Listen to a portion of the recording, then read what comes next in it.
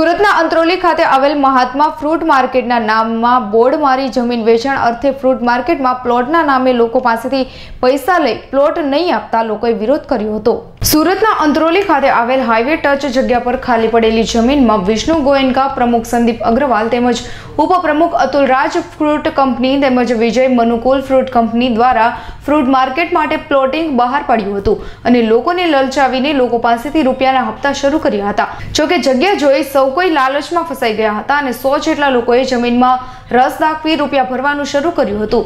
જોકે એક જાગૃત નાગરિક દ્વારા જમીનની તપાસ કરાવતા માલુમ પડ્યું હતું કે આ જમીનમાં ક્યારેક પ્લોટિંગ પડી શકશે નહીં, કારણ કે જગ્યા ટાઇટલ ક્લિયર જે એને ક્લિયર છે નહીં, જેથી હવે નાણાં ભરેલા લોકો હાલ મૂંઝવણમાં મુકાયા છે. કારણ કે આ જગ્યા ગેરકાયદેસર છે અને આ જગ્યામાં આ લોકોની માલિકીની નથી. જેથી જાગૃત નાગરિક દ્વારા સુડા ભવન ખાતે અરજી કરતા મામલતદાર સ્થળ તપાસ માટે રૂબરૂ આવ્યા હતા અને જગ્યાની તપાસ શરૂ કરી છે. મારું નામ રાજેશ ગાંધી છે. રાજેશભાઈ જમીનનો કઈ વિવાદ ચાલી રહ્યો છે? કઈ જગ્યાએ છે અને શું વિવાદ છે? વિવાદ જે ચાલી રહ્યો છે એ મોજે અંત્રોલી ગામ અને તાલુકો પલસાણાની જે જગ્યાઓ છે એમાં સાત અલગ અલગ રેવન્યુ સર્વે નંબર છે. એ જગ્યા ઉપર હાલમાં મહાત્મા ગાંધી ફ્રૂટ માર્કેટ બનાવવાનું આયોજન થઈ રહ્યું છે. એવું એ જગ્યા ઉપર બોર્ડ મારેલું છે અને ત્યાં એક બુકિંગ ઓફિસ બનાવેલી છે. અને આ જગ્યા ઉપરથી આ ફ્રૂટ માર્કેટ બનાવવાના આયોજનનું બતાવીને ફ્રૂટ માર્કેટના બધા નાના મોટા વેપારીઓ પાસેથી કરોડો રૂપિયાની ઉઘરાણી કરવામાં આવી રહી છે. ઉઘરાણી કરવાનો વ્યક્તિ કોણ છે? ઉઘરાણી કરવામાં એક વિષ્ણુભાઈ ગોયંકા બિલ્ડરનું નામ બતાવવામાં આવી રહ્યું છે.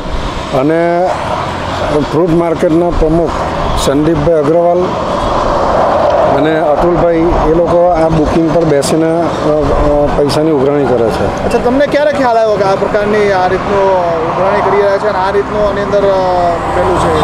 ખ્યાલ કેવી એકચ્યુઅલી આજે બોર્ડ માર્યો ને ને ફ્રૂટ માર્કેટનું બોર્ડ માર્યું એટલે મને એવો ખ્યાલ આવ્યો કે આગળ મહાત્મા ગાંધી ફ્રૂટ માર્કેટ છે એ જ અહીંયા નવી કોઈ બનવા જઈ રહી છે એવું આયોજન થઈ રહ્યું છે. તો એના માટે મેં તપાસ કરીને પલસાણા એમાંથી પેપર કઢાવ્યા. તો હાલમાં આ જગ્યાની અંદર જે સાત બાર જોતા નવી શરતની અને જૂની શરતની હેડવાળી જગ્યાઓ અત્યારે ચાલી આવેલી છે. પછી એની અંદર મેં ઝોનિંગ સર્ટિફિકેટ કઢાવ્યા.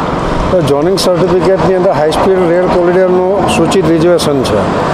એટલે એનો મતલબ એવો છે કે મૂળ ખેડૂતો પાસેથી જગ્યા ખરીદી હોય એવું મને લાગતું નથી.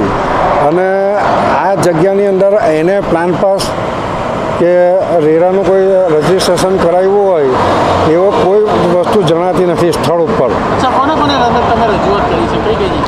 એટલે મેં પોતે માનવ હિતના આધારે એ અત્યારે જે મેં અરજી કરી છે, એ પલસાણા મામલતદાર સાહેબને અરજી કરી છે, પછી સુડા કમિશનર સાહેબમાં અરજી કરી છે કલેક્ટર સાહેબ કચેરીમાં અરજી કરી છે, મહેસૂલ સચિવ ગાંધીનગર અરજી કરી છે, મહેસૂલ મંત્રી ગાંધીનગર બી અરજી કરી છે, એટલે પાંચ જગ્યાએ મેં મારી પોતાની અરજી કરીને સરકારને જણાવી રહ્યો છું કે આ જગ્યા ઉપર બહુ મોટું કરોડો રૂપિયાનું કૌભાંડ ચાલી રહ્યું છે. કેટલા લોકોએ અત્યાર સુધી પૈસા ભર્યા છે આમાં? અમારા હિસાબે સો જેવા વ્યક્તિએ પૈસા ભર્યા છે જે મારી જાણકારી છે તે મુજબ.